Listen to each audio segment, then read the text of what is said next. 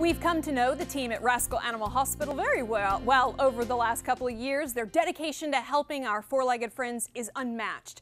They also do extraordinary work through Rascal Charities, and today they have a very important mission on behalf of a young pup named Nancy Drew. The woman behind all of Rascal's work is head veterinarian Dr. Michelle Gonzalez. Dr. G, welcome.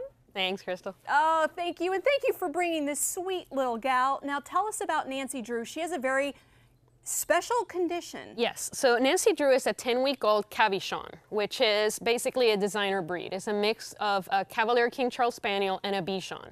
Um, so she was actually from an Amish puppy mill. Oh. And one of the rescues that we work with in Dayton, Love for Canines, whenever there's a reject dog, they give them to her. So she, they felt that she, she had something wrong with the way that her heart pounded. So they took her over to Love for Canines, and then she came to us.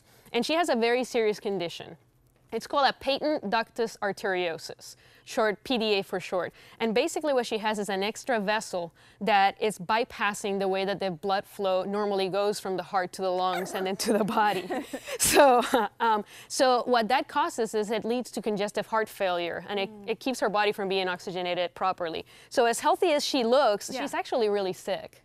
If she doesn't get help, mm -hmm well, you're, what you're trying to do for her, what will happen? Basically, she needs surgery, and she needs surgery within the next couple of weeks because her heart is already so big and having such a hard time pumping through her system. So if she doesn't have surgery within the next couple of weeks, she's literally going to go into congestive heart failure and then she's going to die. Oh my, we're looking at video of her right now. She yes. looks, look at her. Oh, I know. Oh I mean, she doesn't know any better. She was born with this condition. If you feel her chest, like I had you feel it. You had me feel it before yeah. the show. You said put your hand on her chest. Yes. And I mean, it felt very mm -hmm. unusual. Exactly. And for her, that's normal. So she doesn't oh. know any difference. So she loves to play. She has all her toys. That's actually, she's crashing with me right now.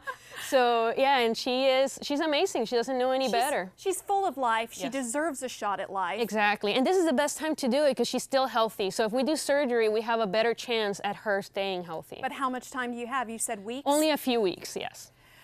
Okay, so your charity is looking to raise enough money to be able to perform this surgery, and you right. guys do this all the time. The, yeah, like Rascal Charities helps with all these different rescues, and we take special projects of animals. Like we help with a lot of orthopedic problems is the most common ones that we do. With Nancy, because the surgery is such an invasive surgery and so difficult, we're actually trying to raise money so that one of the doctors at Ohio State University can actually do the surgery at the College of Veterinary Medicine.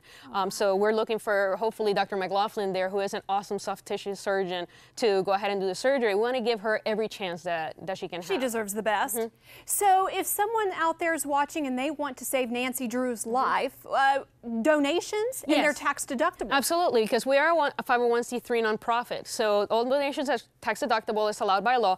And rascalcharities.org is the website to go to. And on there, there is a page that has the different patients that we're helping with. It has Nancy's story and it has a button that people that just want to donate for her, they can do that. There's a couple other patients that we're working with. Or We're watching video of those other patients yes. right now. Yeah, and these some, of some these, of yeah, exactly. Some of these are patients from the past, and some of them are patients that are current. So right now we have two dogs that have really severe um, orthopedic problems that have a lot of pains when they're moving around. So we're trying to raise money so that that doesn't happen. So again, people can donate towards one specific pet, or they can do a general donation.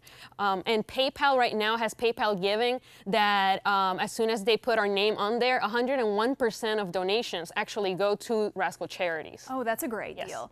So I know people are watching and they're wondering, is Nancy Drew, once she's healthy, going to be available for adoption? Most definitely. You know, it's going to be hard to get rid of her, but she needs a she needs a loving home. And uh, loveforcanines.org is the place to to contact for information about adopting her. Um, and they have a lot of other pets that are a lot like her, not necessarily sick like her, but you know, a lot of other puppies. I hope people get out there and donate right now for little Nancy Drew. And Dr. G, thanks for what you're doing. Thanks a lot.